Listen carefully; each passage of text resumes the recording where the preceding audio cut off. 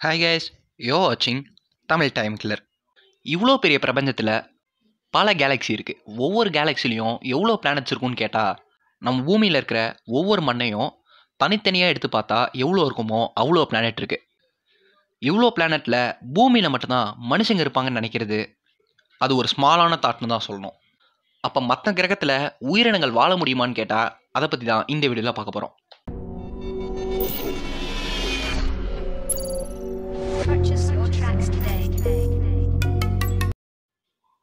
ஏலியன்னு சொல்கிறாங்களே ஏலியன்னா ஆக்சுவலாக என்னது?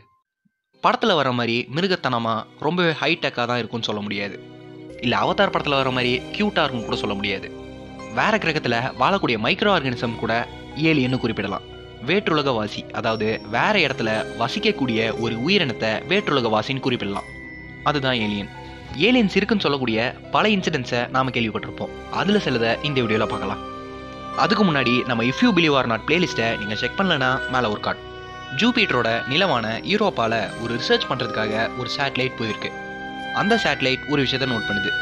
அந்த கிரகத்துல இருந்து வெளிவர ஒரு காம்போனன்ட் உயிரினங்களை உருவாக்க தகுதியானதாக இருக்குது அதாவது அந்த காம்போனண்ட்டால் ஒரு உயிரினத்தை உருவாக்க முடியும். அதே மாதிரி வீனஸ்லேயும் உயிரினம் வாழ வாய்ப்பு இருக்குன்னு சொல்கிறாங்க ஆரம்பத்தில் வீனஸை கண்டுபிடிச்சப்ப இருக்கிறதுலையே உயிரினம் வாழறதுக்கான வாய்ப்பு வீனஸில் தான் கம்மியாக இருக்குன்னு சொன்னாங்க. ஏன் இப்படி சொன்னாங்கன்னா சூரிய கிரகத்தில் வீனஸை ஒரு ஈவல் பிளானட்னே சொல்லுவாங்க. ஏன்னா இருக்கிறதுலையே அங்கே தான் ஹீட் அதிகம். கிட்டத்தட்ட நானூற்றம்பது டிகிரி கிட்ட ஹீட் இருக்கும். அந்த சர்ஃபேஸில் உயிரினம் வாழ வாய்ப்பு கண்டிப்பாக இல்லை. இருந்தாலும் வீனஸோட காற்று மண்டலத்தில் உயிரினங்கள் வாழ வாய்ப்பு இருக்குன்னு சொல்கிறாங்க எப்படின்னு கேட்டால் அந்த காற்று மண்டலத்தில் ஃபாஸ்மின்னு சொல்லி ஒரு கேஸ் இருக்குது அந்த கேஸ் எப்படி உருவாகும்னு கேட்டால் அந்த கேஸ் பூமியிலையும் இருக்குது பூமியில் அந்த கேஸ் எப்படி உருவாகும்னு கேட்டால் சில மைக்ரோ ஆர்கானிசம் அந்த கேஸை ரிலீஸ் பண்ணோம். அப்படி இல்லைனா ஒரு லேபில் அந்த கேஸை கிரியேட் பண்ண முடியும். வீனஸில் லேப் இருக்க கண்டிப்பாக வாய்ப்பு இல்லை. ஆனால் மைக்ரோ ஆர்கானிசம் இருக்க வாய்ப்பு இருக்கு. ரெண்டாயிரத்தி பதினாலில் பழங்குடி மக்கள் ஏலியன்ஸை பார்த்துருக்காங்கன்னு சொல்கிற மாதிரி ஒரு ப்ரூஃப் ஆர்கியாலஜி டிபார்ட்மெண்ட்கே கிடைக்குது. என்னன்னு கேட்டால் சண்டிகரில் சராமான்னு ஒரு இடம் இருக்குது அங்கே இருக்கிற மலைவாழ் மக்கள் ரொம்ப வருஷமாக ஒரு பெயிண்டிங்கை வழிபட்டுட்டு வராங்க. அது என்ன பெயிண்டிங்னு கேட்டால் ஏலியன் பெயிண்டிங் அந்த பெயிண்டிங்கை ரிசர்ச் பண்ணி பார்த்ததுல அது ஆயிரத்தி எழுநூறு வருஷம் முன்னாடி வரையப்பட்டதுன்னு சொல்கிறாங்க அத்தனை வருஷத்துக்கு முன்னாடி மனுஷன் வரைஞ்ச வேற சில பெயிண்டிங்னு பார்த்தா ஒரு ஆடாக இருக்கும் ஒரு மாடாக இருக்கும் ஒரு மரமாக இருக்கும். மனுஷன் பார்த்த ஒரு விஷயத்தை தான் வரைஞ்சிருக்கான். அப்போ அவன் ஏலியனையும் பார்த்துருப்பானா? அவன் வரைஞ்சது ஏலியன் இல்லைனா வேற என்ன?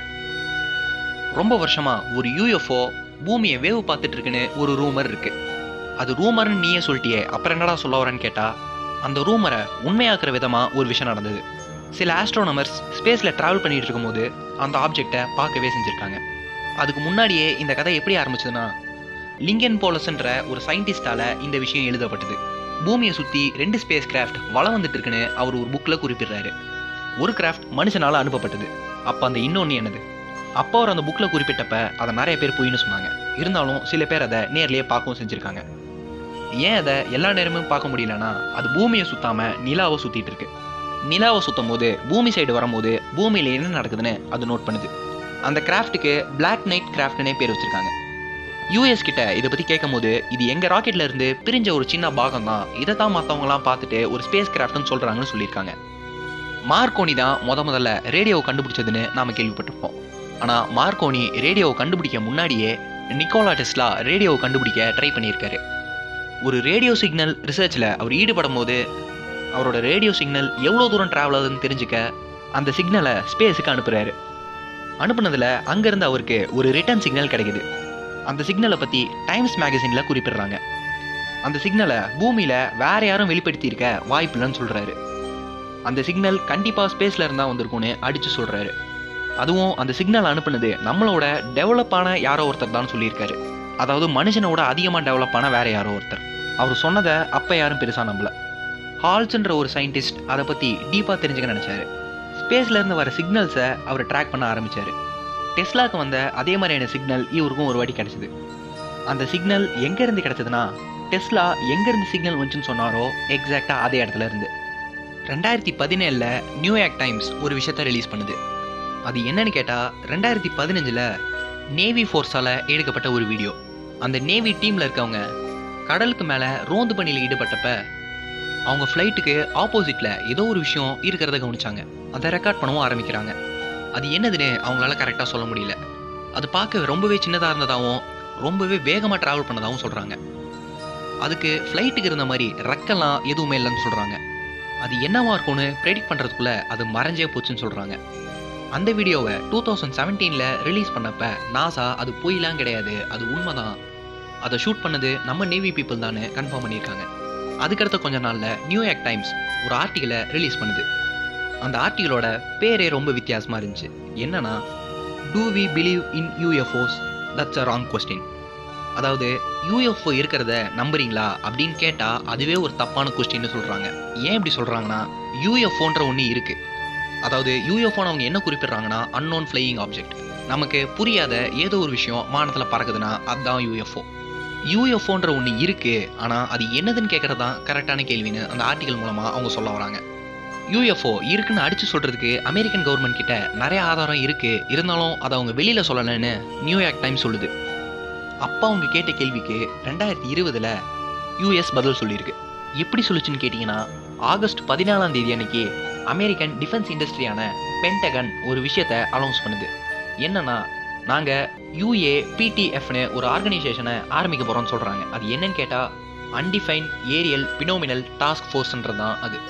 அதோட அப்ரிவேஷன் அது என்ன கமிட்டின்னு கேட்டால் அமெரிக்காவுக்கு மேலே பறக்கக்கூடிய ஏதோ ஒரு யூஎஃப்ஓவை கண்டுபிடிக்கிறதுக்கான ஆர்கனைசேஷன் தான் அது. யூஎஃப்ஓன்னு குறிப்பிடுறது ஏலியனோட ஸ்பேஸ்ஷிப் கிடையாது. நமக்கு புரியாத ஏதோ ஒரு ஆப்ஜெக்ட் தான் அது. அமெரிக்கன் கவர்மெண்ட் ஒன்று ஏலியனை பற்றி ரிசர்ச் பண்ணுறதுக்காகலாம் அதை ஆரம்பிக்கல. வேற ஏதோ ஒரு நாடு நம்மளை வேவு பார்க்குதோ அது ஒரு ட்ரோனாக இருக்குமோன்ற சந்தேகத்தில் இந்த ஆர்கனைசேஷன் ஆரம்பிச்சிருக்கு. அப்படியே வேற ஏதாவது ஒரு கண்ட்ரி தான் அமெரிக்காவை வேவு பார்க்க ட்ரோன் அனுப்பியிருக்குன்னு சொன்னால் வேற எந்த கண்ட்ரிகிட்ட அவ்வளோ வேகமாக ட்ராவல் பண்ணக்கூடிய ஆப்ஜெக்ட் இருக்குது அப்படியே ஒரு வேகமான கிராஃப்டை வேற நாடு கண்டுபிடிச்சிட்டாலும் நேவி பீப்புள் பார்க்கறதுக்குள்ள அது எப்படி மறைஞ்சு போச்சு? அப்படி அது மனுஷனால் கண்டுபிடிச்ச ஒரு விஷயம் இல்லைன்னா வேற என்ன அது? ஏரியா ஃபிஃப்டி ஒன்ல கூட ஏலியன்ஸ் இருக்கிறதுக்கான வாய்ப்பு இருக்குன்னு சொல்கிறாங்க இந்த வீடியோவில் நாம பார்த்த எல்லா விஷயத்துலையுமே ஏலியன் இருக்க வாய்ப்பு இருக்கு. ஏலியன் இருந்தாலும் இருக்கலாம். அப்படின்னு தான் நம்ம சொல்றோம். ஏலியன் இருக்குன்னு நம்மளால அடிச்சு சொல்ல முடியல. இது எல்லாமே ஒரு கான்ஃபரன்சி தியரியாக தான் இருக்கு. இருட்டில் நமக்கு தெரியாத ஒரு விஷயத்த பார்க்கும்போது அதை நம்ம பேயின்னு சொல்ற மாதிரி வானத்தில் நமக்கு தெரியாத ஒரு விஷயத்த பார்த்தா அதை நம்ம ஏலியன்னு சொல்றோம். யூஎஃப்ஓன்னு சொல்றோம்.